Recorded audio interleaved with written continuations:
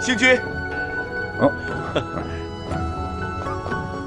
最近魔族蠢蠢欲动，竟还敢与东华帝君起了冲突，这事你听说了吗？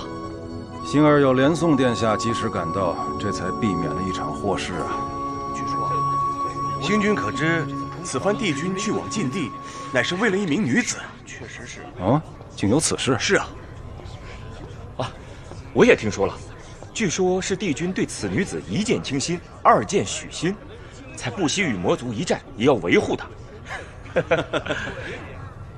传的这么有板有眼的，听谁说的？呃，连宋殿下，连宋的话都信？信啊，信啊，怎么能不信？当然信了。帝君呢？说得好，是个女子，说出来我都不信呢。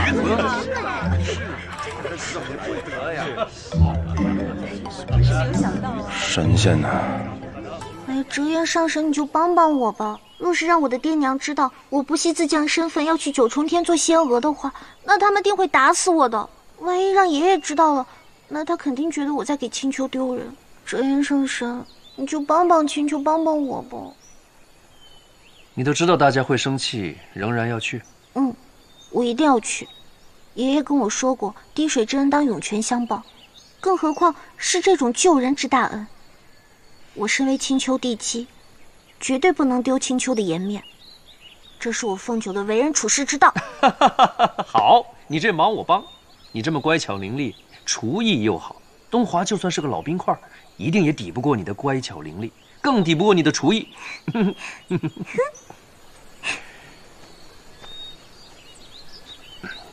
你就放心的去吧，我跟你小叔啊，做你的后盾。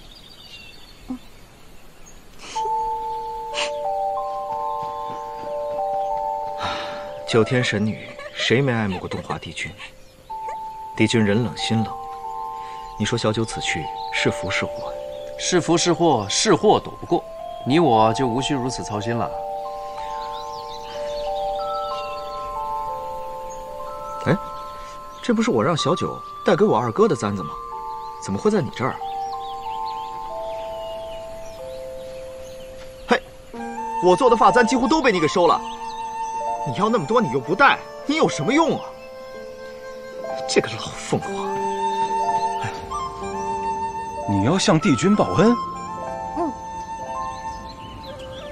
九重天相传帝君英雄救美的事，竟然是真的。此次可是救命之恩呢，我们青丘一定是有恩必报的。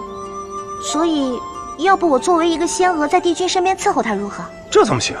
那太荒唐了。那我也想不出别的办法来了呀。那不然，司命，你说说，我该如何帮到帝君？或者说，他有什么需要我去做的？以帝君老人家的身份，也确实不需要谁再为他做什么了。这不就得了？可你是青丘未来的女君。这么做有失身份，这有何难？我只要不让人发现我是谁就好了嘛。哎呀，你就帮我扮作小仙娥混进太晨宫吧。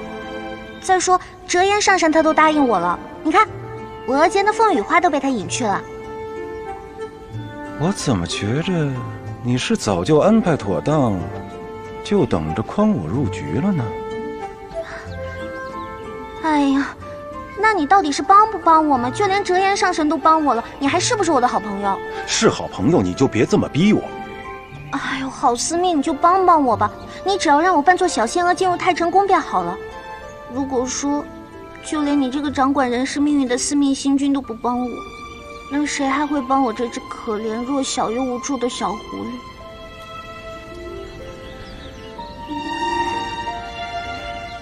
此事非同小可。你让我再想想。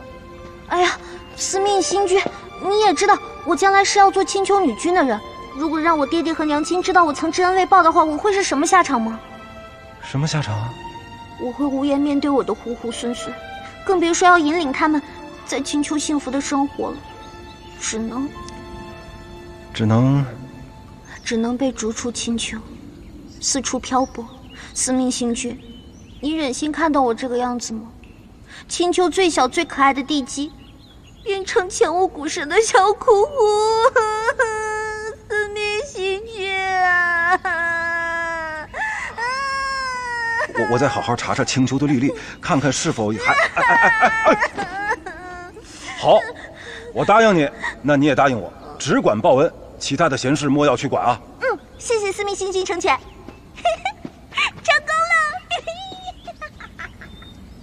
是担心你一腔热情付诸东流啊。小天下，你记住啊，只为报恩，千万千万不要暴露了你青丘帝姬的身份。放心吧，做小仙娥就是要懂得忍耐嘛，一切都是为了报恩。我也不求你忍耐，别惹出什么。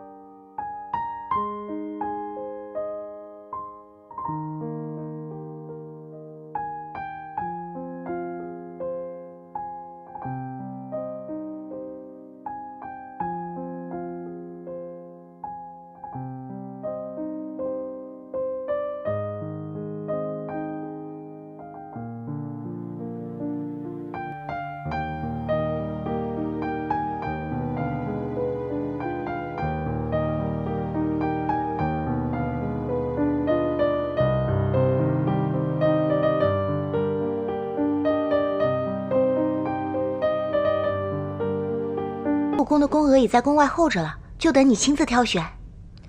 让他们进来。是。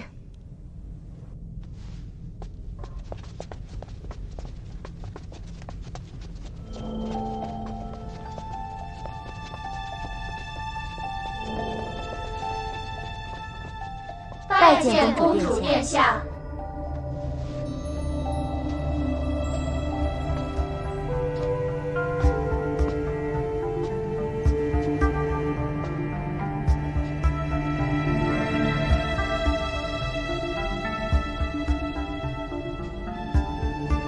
一脸妖媚，分明心怀不轨，不可留。